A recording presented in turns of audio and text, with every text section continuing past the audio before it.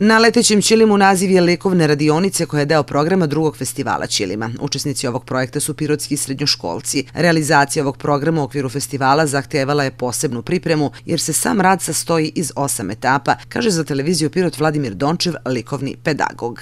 Prilagođeni su dečijem uzrastu, to jest njihovom uzrastu, pošto ove godine radimo sa srednjoškolskim uzrastom.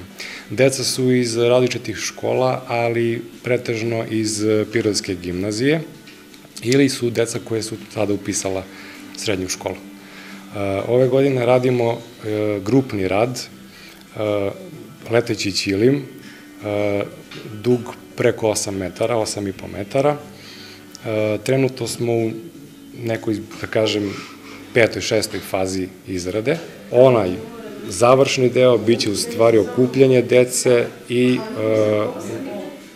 sklapanje tih formata u jedan, leteći ćilim, koji je u stvari i cilj ovog našeg zadatka.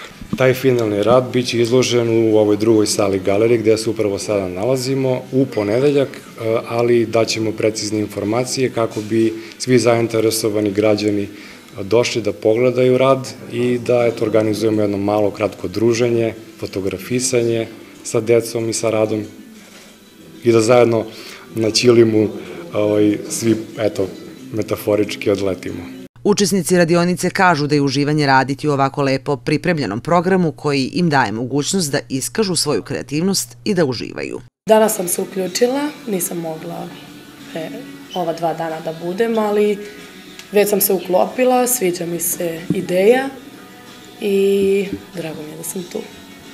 Sviđa mi se sklop boja, a sviđa mi se što imamo potpunu slobodu da biramo kakva će kompozicija da bude ornamenta i boja. Neka sloboda da izrazim svoju kreativnost a i da se isključim iz realnosti i prosto opustim, ne znam, uvek sam voljela i prijem.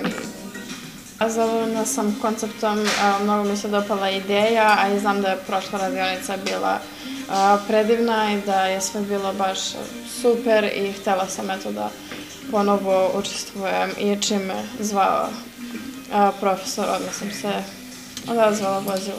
Galerija Čedomir Krstić je i ovoga puta pokazala da je ne samo prostor u kom iz nedelje u nedelju možemo da uživamo u vrhunskim umetničkim delima, već i mesto stvaranja, druženja, okupljanja, rađanja novih ideja, upravo mesto svih nas.